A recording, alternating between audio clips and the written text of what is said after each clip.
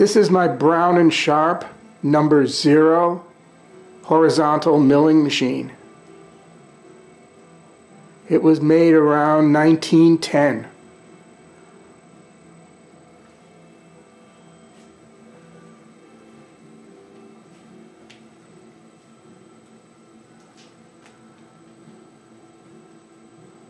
I have the original vise, swivel vise.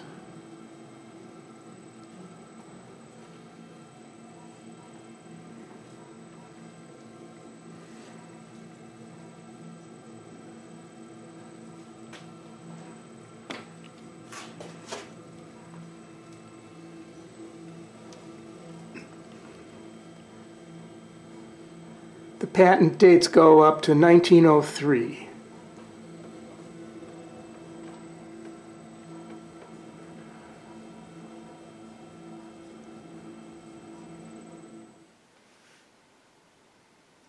Today's video is not about the milling machine, but rather about this boring head.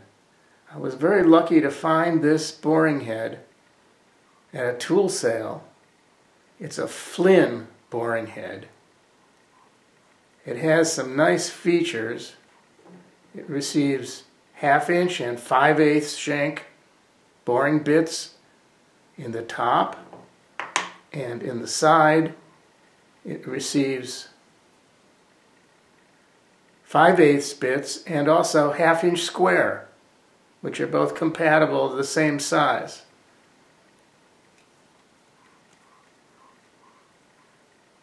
The screw is graduated in diameters, so it has 50 divisions, but the screw has 40 threads per inch which is the same as a micrometer.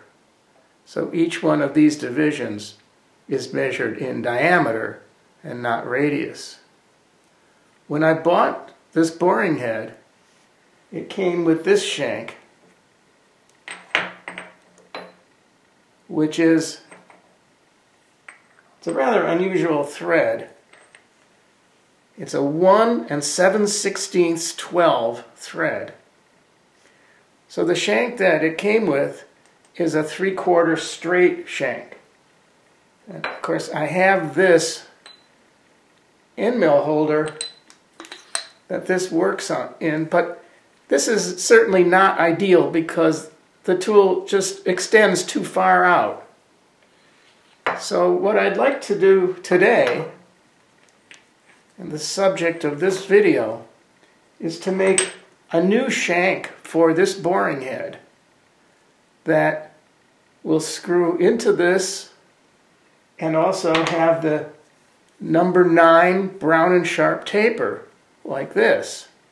In case you don't know, a number 9 Brown and Sharpe taper is a little bit bigger than a Morse 3 and a little bit smaller than a Morse 4. However, on a Brown and Sharpe taper, the taper is one half inch per foot as opposed to a Morse taper which is around 5 eighths per foot. So what we need ideally would be this.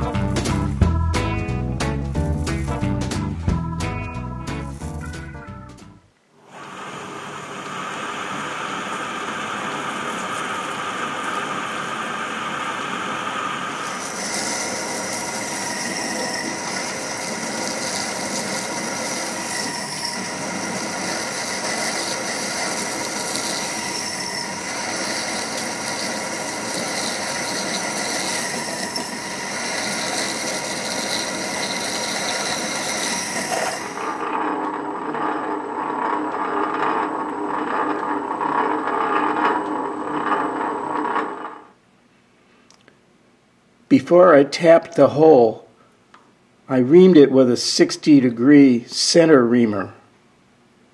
Some people call this a 60 degree countersink.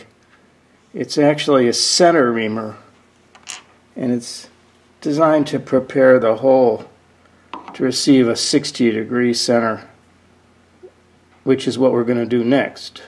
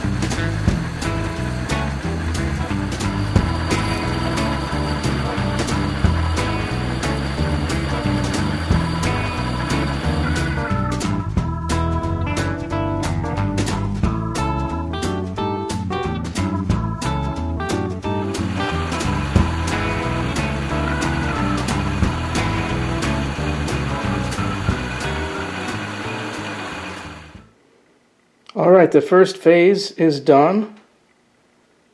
The Brown and Sharpe, number nine, taper.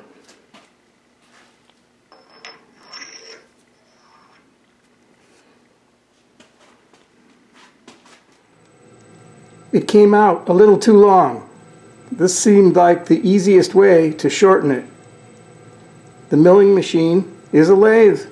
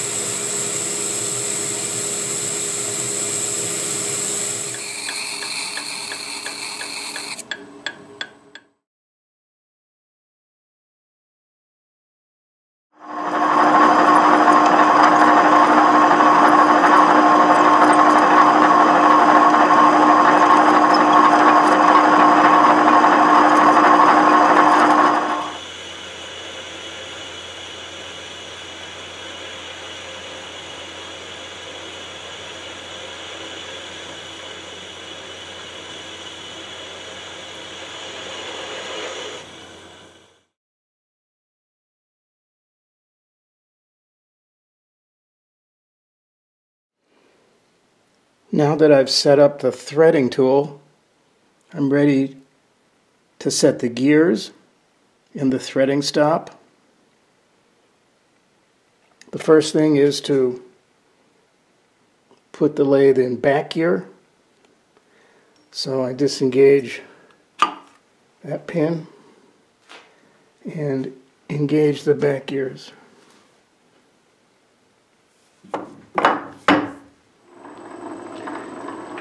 This is the famous Norton gearbox, the first successfully mass-produced quick change gearbox.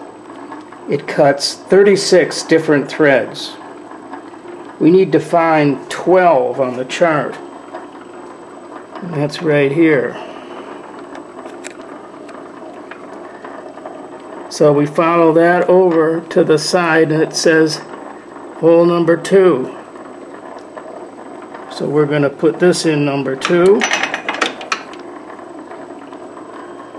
And from the 12, we follow this down along this line to that hole. So we need to be in there. Now we're set up for 12 threads per inch running in back gear and we engage the half nuts here.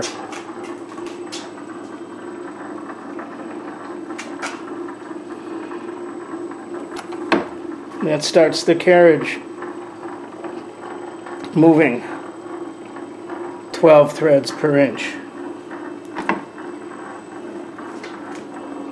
Fortunately, 12 threads per inch is an even multiple of the pitch of the lead screw which is 6. So every time we engage the half nuts, we know we'll be synchronized.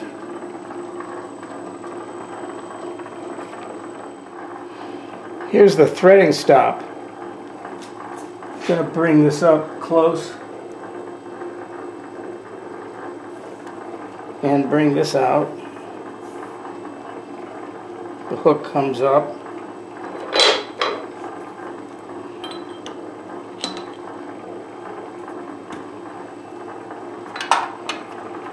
And the stop, stop rod is tightened here. So now I have a threading stop. I can back out of the cut, go back to the beginning, and advance to that stop each time.